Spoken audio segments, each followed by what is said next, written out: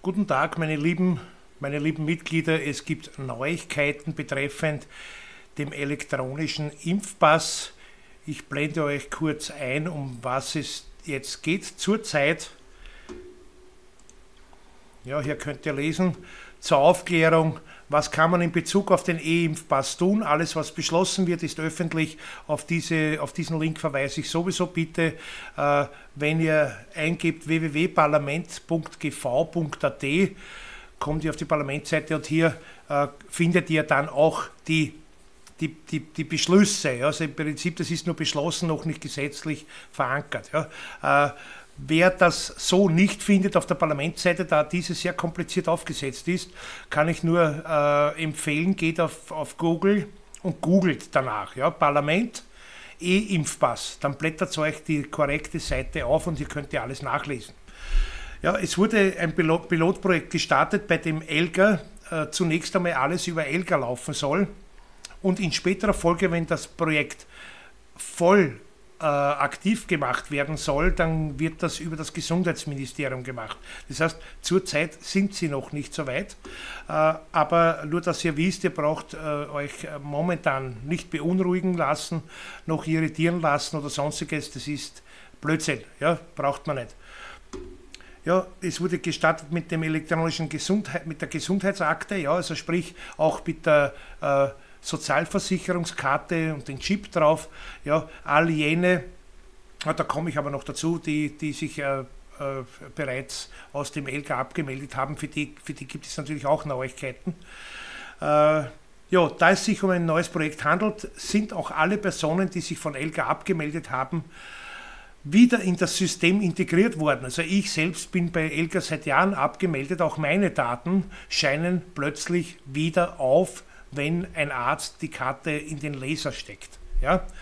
Äh, das heißt, äh, Jedoch gibt es die Möglichkeit, sich erneut abzumelden und den Datenschutz zu gewährleisten. Ja, die Impfpflicht ist damals am Datenschutz gescheitert, da Elga sonst Milliarden Euro Strafe hätte zahlen müssen wegen Datenschutzverletzungen. Ja, man, das wissen wir, äh, die, dieser Text oder viele andere gehen ja, kursieren ja überall in den Social Media Kanälen. Äh, aber wir haben danach gefragt, das ist wirklich so. Ja. Der E-Impfpass stellt, stellt nun die Lösung dar, also, dass man quasi da gleich alles äh, wie auch immer eintragen kann. Allerdings kann man sich davon abmelden, äh, wodurch der Datenschutz gewährleistet sein soll und abgesichert sein soll. Was könnt ihr tun? Ihr könnt eine Datenanfrage stellen, da blende ich euch dann eine PDF-Datei ein, welche ich dann unter dem Video verlinken werde.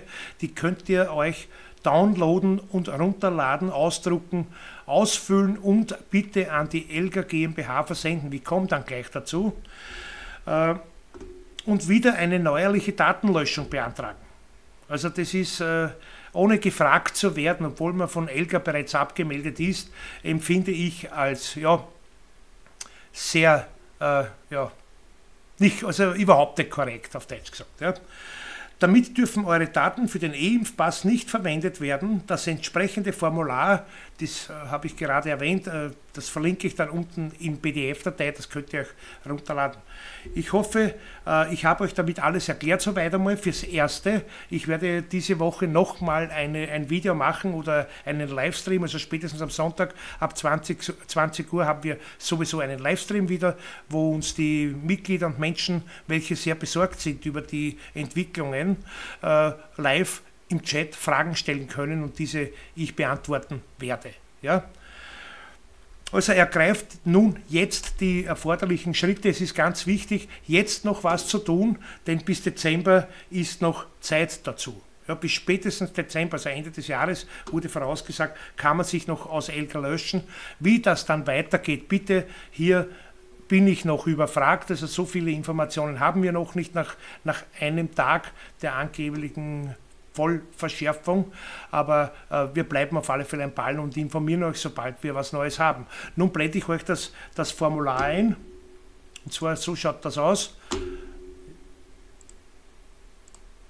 Und zwar äh, bitte eingeschrieben senden, also nicht per normale Briefpost. Das bringt gar nichts. Eingeschrieben am besten eigenhändig, wie auch immer, ja, auch wenn kein Adressant oben ist, also sprich zu Handen Herren oder zu, zu, zu Handen Frau, äh, das spielt überhaupt keine Rolle. Und zwar äh, möchtet ihr offiziell eine Auskunft nach Artikel 15 DSGVO, äh, das ist die Datenschutz, Datenschutzgesetzverordnung, ja, Datenschutzgesetzverordnung. Und äh, bitte diesen Text, schaut euch das an, also da äh, stellt äh, sämtliche Fragen und zwar, welche personenbezogene Daten werden von mir bei Ihnen verarbeitet und gespeichert? Ihr erwartet selbstverständlich eine Antwort. Das ist dann zum Schluss. Zu welchen Zwecke werden diese Daten verarbeitet? Das würdet ihr auch gerne wissen. Welche Kategorien personenbezogener Daten verarbeiten Sie? Also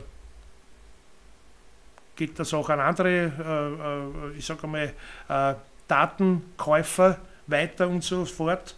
Wie lauten die Empfänger oder Kategorien von Empfängern, die meine Daten bereits erhalten haben oder künftig noch erhalten werden? Ob man da jetzt eine Antwort bekommt, äh, das bezweifle ich, aber es steht einfach drinnen und ich finde es auch gut. Man kann es ja mal probieren, ob, man da wirklich eine Auskunft bekommt oder nicht.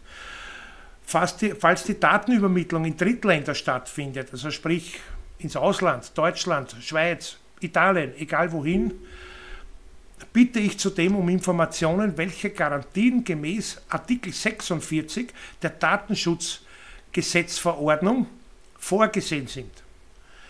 Wie, wie ist die geplante Speicherdauer für meine personenbezogenen Daten?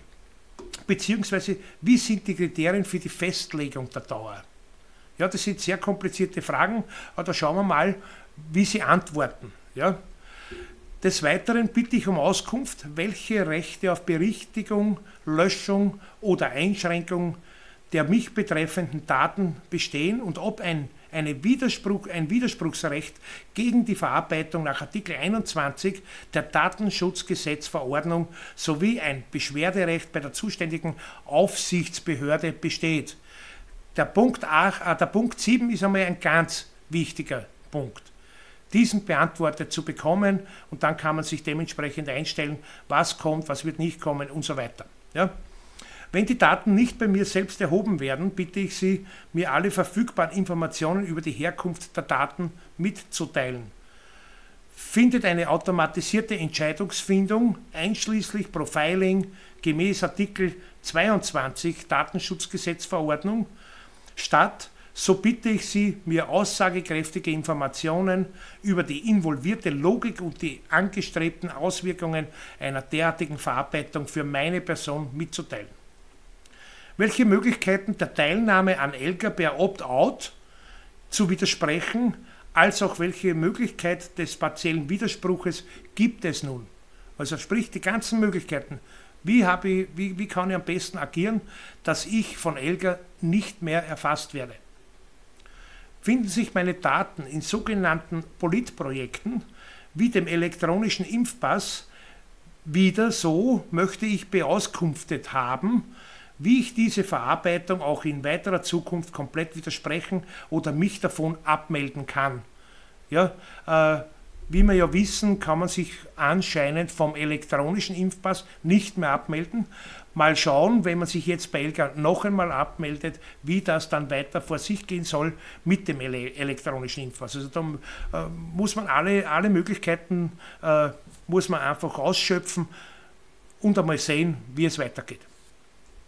Zur Erteilung dieser Auskünfte setze ich in eine Frist von einem Monat ab Zugang dieses Schreibens. Das heißt, bitte agiert sofort, schreibt alle diese Anfrage. Alle, welche sagen, ich möchte das nicht, schreibt das einfach. Sie sollen sich damit befassen und klare Auskunft erteilen. Ja? Sollten Sie die Auskünfte nicht fristgerecht oder nicht vollständig erteilen, behalte ich mir weitere Schritte vor. Also da ist zum Beispiel für unsere Mitglieder der Vorteil, Ihr seid bei uns im Verein in einem Forschungs- und Schutzprojekt, ja, zum, zu, wie ihr schon wisst, also zum Erhalt der eigenen körperlichen, persönlichen Unversehrtheit äh, und für eure persönliche, körperliche, positive Gesundheitsentwicklung. Das sagte ich schon mehrmals. Also hier haben wir es noch leichter. Ja? Bitte stellen Sie mir außerdem kostenfrei eine Kopie meiner bei Ihnen gespeicherten personenbezogenen Daten unverzüglich an folgende Adresse zur Verfügung. Ja, meine aktuelle vollständige Anschrift, Vorname, Nachname, die Adresse, Postleitzahl und Ort. Und zum Abschluss, damit Sie sich von meiner Identität zum Zwecke der Auskunftserteilung überzeugen können, sende ich Ihnen eine Kopie eines Lichtbildausweises. Urkunde wird nicht viel bringen, steht zwar drinnen, aber am besten eine Kopie eines, eines Personalausweises, Führerschein oder Reisepasses mitsenden. Und somit äh, hat man hier schon wieder Zeitverschiebungen und so weiter erspart. Ja? Diese Daten sind allerdings nach Beendigung der Beauskunftung vollständig von Ihnen zu löschen und ich verweigere Ihnen auch eine elektronische weitere Verarbeitung mit freundlichen Grüßen und Unterschrift. Ja, das zum Thema, was gibt es Neues betreffend Impfpass. Wenn ihr noch, äh, ich sage einmal, äh, Menschen, welche noch nicht wissen, wer wir sind, wo man uns findet und so weiter, bitte äh, geht auf unsere Homepage unter www.mv und-versorgung.com. Ihr findet uns im Übrigen auch auf Telegram und auf Facebook. Hier aktualisieren wir laufend über unsere aktuellen Aktivitäten und so weiter. Ja, also bitte einfach reinschauen äh, auf YouTube, äh, auf unseren MVTV-Kanal, alle letzten Info-Videos, welche ich gemacht habe, nachsehen, nachhören äh, und dann werdet ihr äh, auf alle Fälle schlauer. Ja, in diesem Sinne danke ich euch, dass ihr euch die Zeit genommen habt für dieses kurze Infovideo, dieses auch anzusehen. Bitte verbreitet das auch, äh, macht Werbung und äh, ja, dass so viele Menschen wie möglich wissen, dass es uns gibt. In diesem Sinne noch alles Liebe und wir sehen uns wieder in Kürze.